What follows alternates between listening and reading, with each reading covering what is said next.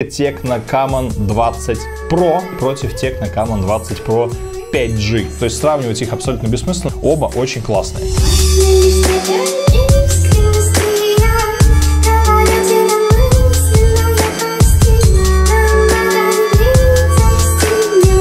Привет, друзья! Вы на канале Qik.ru, с вами Андрей и у нас сравнение. Сравнение, по-моему, одно из первых Tecno смартфонов, которые вообще у нас когда-либо были. Tecno Camon 20 Pro в левой руке против Tecno Camon 20 Pro 5G в правой руке. Отличить их достаточно просто, на самом деле, по заднему виду. Это вот эта вот панелька керамическая у версии 5G присутствует, она же присутствует у премьера.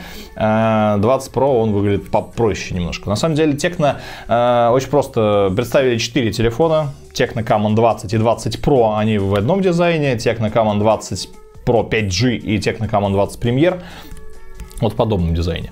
Отличий на самом деле у них много, несмотря на то, что ну, это, вот эта цель этого видео как раз таки вам показать наиболее наглядно разницу между двумя смартфонами, потому что разница в цене у них есть, и она достаточно значительная, но кто-то может подумать, а зачем платить за 5G, если вот есть 20 Pro, допустим. Сейчас я вам простыми словами быстренько все это объясню. Пока посмотрите по ссылке под видео, сколько стоят телефоны, в каких цветах есть и версиях, с быстрой доставкой, трехлетней гарантией, как мы любим в Quk, как обычно. Ну и останутся вопросы, все ждем в комментариях под видео в нашем телеграм-канале, и, собственно, под этим видео тоже можете что-то писать и спрашивать. Ну и, конечно, напоминаю про наш ежемесячный розыгрыш одного классного смартфона и множество промокодов на покупку в нашем магазине. Условия крайне просты. Пишем комментарий под этим видео на ютубе, засчитывается только один. Подписываемся на канал, открываем подписки в настройках ютуба. Дальше следим за анонсом. В прямом эфире в следующем месяце мы выберем победителей, а главный приз один смартфон отправим в любую точку Российской Федерации. Удачи! Сразу скажу, что комплектацию телефонов подозрительно похожа. Они не имеют пленок на дисплеях. Пленки в комплекте лежат. Там же есть 33 ватта зарядка. Плотный такой силиконовый чехольчик. И, в принципе-то, и все. Да, то есть комплект неплохой. Еще раз отмечу. Отличный чехол с обоими телефонами. А, пленка дополнительно лежит в комплекте, но предлагает наклеить. То есть завода она не наклеена. А, ну и, собственно, зарядка. 33 ватта, в принципе, тоже неплохая. Хотя здесь она одинаковая и в прошке, и в 5G версии ее. Э, хочу сказать, что телефоны, да, действительно совпадают по внешнему виду. Задняя часть вот здесь вот она выделена такими треугольничками, симпатично и внешне смотрится. Имитация под эко-кожу это пластик. Э, но э, вот видим, конечно, серьезное преимущество. Мне больше намного нравится сразу дизайн у версии 5G. Вот эта вот панелька керамическая, очень сразу выделяет телефон сам по себе. Ну и здесь видим как раз же, опять же, на Pro версии здесь затычка под камеру вынесена во второй слот, да, то есть во второй, во второй кружочек. А в то время как у 20 Pro 5G, в принципе, три камеры, третья вынесена вот в эту вот вспышку круговую. Вопрос в том, что по элементам управления телефона вообще ничем никак не отличаются. По-моему, использовали фактически одни и те же болванки, то есть в одном месте находится даже прорезь для второго динамика, стерео в обоих телефонах есть, а вот второй микрофон для шумоподавления есть только э, в 5G версии. Оба телефона работают с двумя симками карты памяти, есть разъем для наушников, Type-C для зарядки на 33 ватта, то есть, в принципе, по габаритам, по весу, по ощущениям в руке они абсолютно совпадают. По дисплею разница у них тоже отсутствует в принципе. В обоих телефонах стоят отличные за свою цену дисплея, 6,7 дюйма, AMOLED матрица, 120 Гц частота развертки и при этом частота мерцание 1920 Гц. То есть проблема шима отсутствует в обоих телефонах. Функции причем абсолютно идентичные. Always on display, все настройки и так далее. То есть сравнивать их абсолютно бессмысленно. Дисплеи здесь одинаково хороши в обоих телефонах. Оба очень классные. И все функции присутствуют в равной мере. А разница начинается, первая серьезная разница начинается с процессора. Camon 20 Pro 5G имеет процессор Mediatek Dimensity 8050, оперативной памяти 8 гигабайт и накопитель UFC 3.1. В то время время как в 20 Pro версии. Это Mediatek Helio G99, оперативной памяти также 8 гигабайт. И накопитель UFC 2.1. Не буду ходить вокруг да около, для тех, кто не играет в игрушки, что, пожалуй, что разницы производительности значительной такой не будет, но если просто, то, конечно, быстрее, мощнее намного процессор, который установлен в версии 5G. Практически в два раза превосходит он его по э, баллам, которые набираются в Antutu, но что важно для тех, кто играет, допустим, в игрушки, хотя бы иногда там какие-нибудь сложные. Обратите внимание, что в тесте видеоядра Tecno Camon 20 Pro с Helio G99 набирает 54 тысячи баллов и почти в 4 раза больше набирает Dimensity 8050. Dimensity 8050 это переименованный 1200, Dimensity 1300, это один и тот же процессор по большому счету, поэтому само собой Dimensity намного лучше себя показывает. Здесь Mali G77 э, и Mali G57 в G99.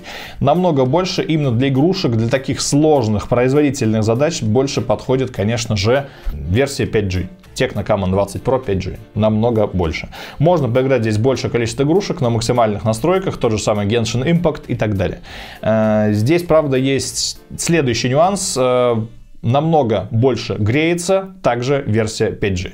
Проблема тротлинга присутствует также только в версии 5G, то есть при игре, при длительном нагреве процессор начинает нагреваться и телефон сбрасывает частоту, таким образом понижая производительность и со временем понижая температуру, до которого нагрелся телефон, чтобы он просто не обжигал вам уже ваши ручки. Это не сказывается значительнейшим образом на каких-то игрушках, на них все равно комфортнее играть на версии 5G, но вот такая проблема тротлинга присутствует. Но эта проблема тротлинга немножко более объемная, и она сказывается на автономности. И вот это следующий пункт отличий, которые есть в этих двух смартфонах. Причем на бумаге опять все одинаково. 5000 мАh батарейка в обоих телефонах, зарядка 33 Вт в комплекте, поддержки беспроводной зарядки нет. Так вот, суть в том, что версия 5G живет, конечно, меньше. Меньше, причем на процентов 30-40. Э, до конца дня его должна хватать, но, конечно, вот Tecno Camon 20 Pro живет дольше. Живет дольше, ну, ощутимо дольше. Заряжаются они оба до полтора часа, а вот по скорости разрядки обычный, более младший, более дешевый 20 Pro выглядит лучше за счет э, более сбалансированного, более холодного процессора в первую очередь. И с камерами, в принципе, разница -то тоже по селфи камера отсутствует полностью, 32 мегапикселя и там, и там. Э, хорошая селфи, по ней идет блокировка по лицу, с одинаковой скоростью, то же самое касается отпечатка пальцев. Основные модули камер отличаются даже количеством. В 5G версии это три модуля, 64 мегапикселя плюс 2 плюс 2, макрокамера и портретная камера. В версии без переставки 5G Tecno Command 20 Pro 64 мегапикселя основная камера также, макрокамера 2 мегапикселя и затычка, которая не камера вообще, ее просто здесь нету.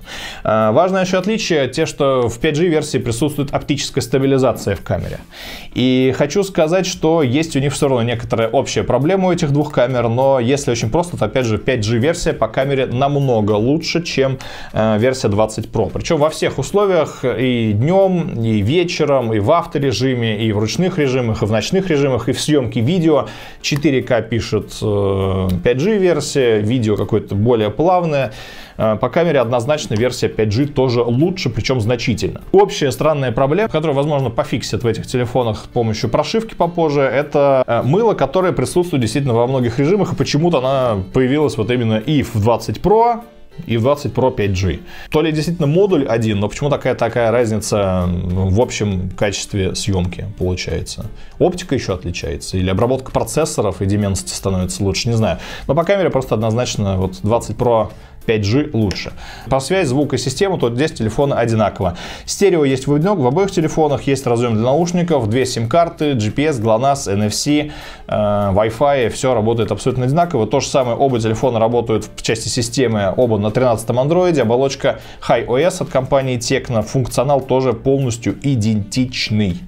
Подводя итог, все довольно просто. Tecno Camon 20 Pro 5G мощнее, лучше снимает, меньше живет в части автономности и, в принципе, дороже стоит, само собой.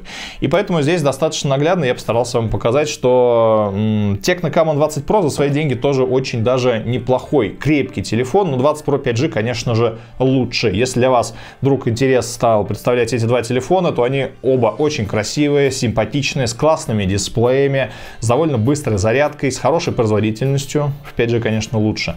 Э, но вот дальше вопрос что важнее вам? Продолжительность камера, выбор 5G. Автономность, выбор 20 Pro. Ну и, в принципе, за свои деньги оба телефона весьма и весьма неплохи. Понятно, что конкуренты у них еще другие есть, другие компании, но это совсем другой вопрос. Если у вас какие-то вопросы остались, и это видео было для вас полезным, надеюсь, вы поставите нам лайк, подписку, колокольчик, перейдете по ссылкам под видео еще раз посмотрите, сколько телефон стоит. А я на этом с вами прощаюсь. С вами был Андрей, Кюк.ру. Пока.